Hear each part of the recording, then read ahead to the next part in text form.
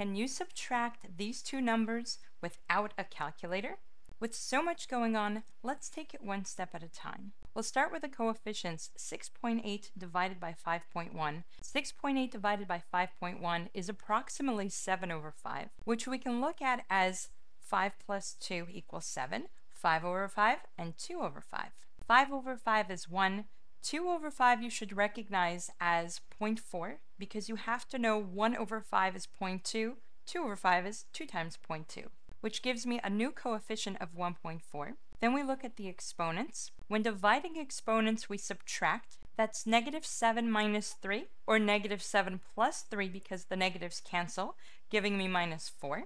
For a final answer of 1.4 times 10 to the minus 4. Calculator says 1.33 times 10 to the minus 4, which is close enough. Comment worksheet for dozens more no calculator MCAT math shortcut practice.